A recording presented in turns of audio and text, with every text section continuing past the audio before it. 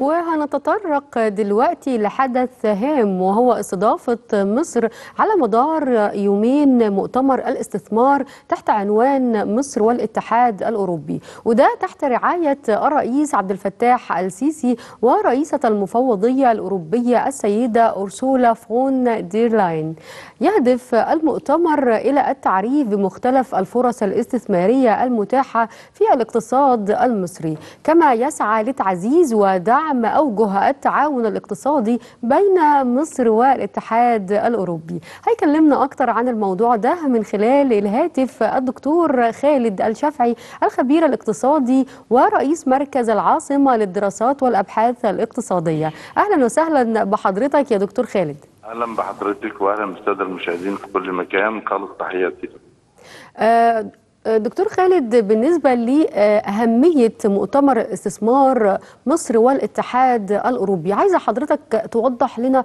بالضبط أهميته ومدى استفادة مصر من هذا المؤتمر. الحقيقة مؤتمر بيأتي في ميعاده وفي مكانه. العلاقات المتميزة بين مصر وبين الاتحاد الأوروبي في وجه توهج هذه العلاقات. وده انعكس في القرض الممنوح من الاتحاد الأوروبي والدعم لصالح الاقتصاد المصري وبنشوف المؤتمر الاستثمار العالمي مصر والاتحاد الأوروبي اللي بيحضر اللي بيتم في 29 و30 يونيو الحالي. أعتقد إن ده بيدلل ويبرهن مدى قوة ومتانة العلاقات المصرية مع الاتحاد الأوروبي وبالتالي دعم الاتحاد الأوروبي ومن خلال كبريات الشركات الاستثمارية الأوروبية والعالمية للاستثمار وانتهاز الفرص الاستثمارية الواعدة لدعم مسيرة التنمية ودعم التنمية المستدامة ودعم كل القطاعات اللي بتشكل من الاقتصاد المصري لتحقيق الأفضل على المستوى الاقتصادي للدولة المصرية وده أحد أسباب هذا المؤتمر. دكتور خالد خلينا نوضح للسادة المشاهدين أبرز الأنشطة الاقتصادية والمشروعات اللي بيمولها الاتحاد الأوروبي في مصر. لو بنشوف يعني اولا كل ابرز هذه الأنشطة الاتحاد الأوروبي بيمولها بنشوف كل القطاعات اللي بتشكل من الاقتصاد المصري بنلاقي الاتحاد الأوروبي بيقوم بتمويل هذه القطاعات. وكان بيركز على قطاع الزراعة أو التصنيع والاتصالات وتكنولوجيا المعلومات والتشييد والبناء والقطاع السياحي والقطاع المالي. كل ديت القطاعات الرئيسية اللي بي اللي بيحطها بين قوسين كده وبيركز عليها الاتحاد الأوروبي لدعم الاقتصاد المصري. لو شفنا على أرض الواقع مدى أهمية هذه القطاعات للاقتصاد المصري هنلاقيها إن هي بتمثل يعني يمكن أغلب القطاعات اللي بتشكل منها الاقتصاد المصري.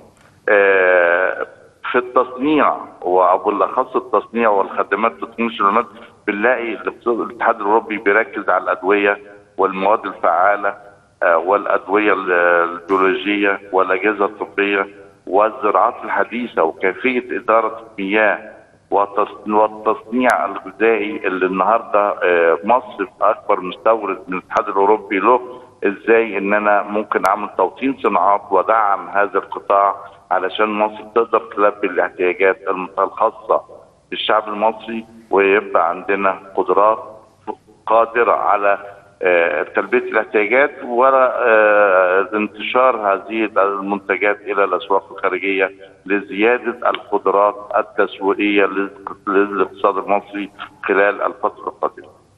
دكتور خالد حضرتك شايف إزاي ممكن القطاع الخاص يقدر يستفيد من المشروعات دي؟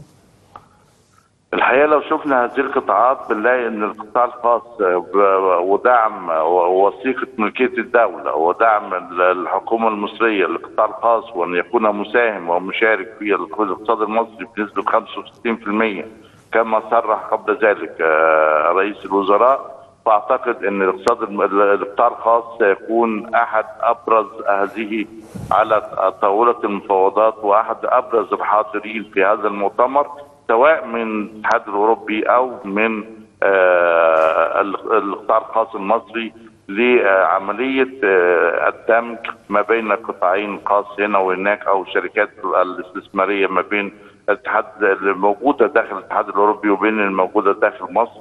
لتحقيق هذا التناغم وهذا التبادل لتحقيق الأفضل لصالح الاقتصاد المصري وتبادل الخبرات وتبادل المعلومات وتبادل التكنولوجيا علشان أقدر إن مصر النهارده يعني تصل إلى المكانة التي يجب أن تكون عليها لأن ده بيحقق استقرار بيحقق مزيد من فرص العمل بيحقق مزيد من تنمية مستدامة بيحقق مزيد من زيادة حجم الناتج المحلي بيحقق المزيد من كمية الإنتاج للسلع والمنتجات اللي بتقدر تقلل معايا فاتورة الواردات اللي تقدر معايا تقلل العجز المزمن في الميزان التجاري اللي تقدر تزود معايا الصادرات. ده لن يستطيع إلا من خلال مساهمة القطاع الخاص واستفادته من الخبرات والإمكانيات والقدرات اللي ممكن تحققها آه، هذا المؤتمر ما بين وما بين. سواء الموجود الشركات الأوروبية والمستثمرين الأوروبيين وما بين القطاع الخاص في مصر.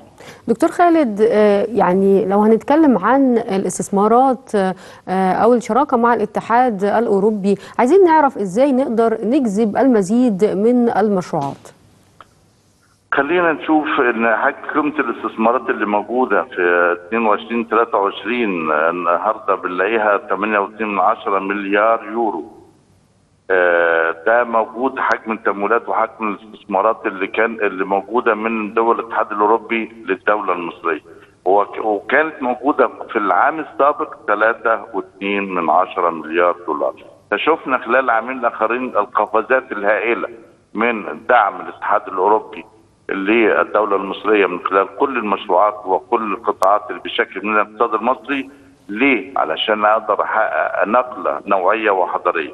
طب ولو شفنا حجم التبادل التجاري ما بين مصر وما بين دول الاتحاد الأوروبي بنلاقيها موجودة تبلغ 31 مليار دولار. فبنشوف آه، هذه الأرقام بتنم إن إن آه، قوة ومتانة العلاقات بين مصر وبين دول الاتحاد الأوروبي.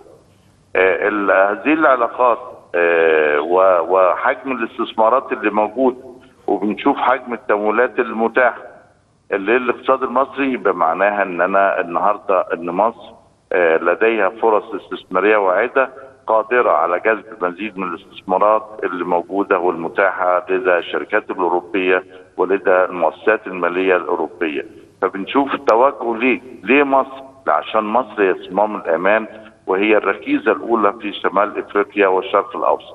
شايف حضرتك انعكاس المشروعات دي على معدلات التنمية الاقتصادية إيه آه هذه المشروعات من شأنها. بتزود معايا حجم الناتج بتزود معايا الطاقات المنتجة بتزود معايا فرص العمل بتزود معايا معدل النمو. كلما زاد معدل النمو كلما زاد تحسن الوضع الاقتصادي اللي موجود داخل الدولة المصرية. فكل ديت مؤشرات إيجابية بينظر إليها آه، المؤسسات المالية العالمية علشان آه، يحدث تحسن للمؤشرات الكلية للاقتصاد المصري. النهارده مصر محتاجة ده علشان يبقى المؤشرات الكليه بتاع المرتبطه بالاقتصاد المصري في تحسن مستمر، فالتحسن المستمر ده يجي إمتى؟ بإيه؟ هيجي بمزيد من الاستثمارات، مزيد من حجم الأنشطة، مزيد من توطين صناعات، مزيد من تقليل فاتورة الواردات، مزيد من تقليل العجز المزمن في الميزان التجاري. آه، دكتور خالد الشافعي أنا بشكر حضرتك شكرا جزيلا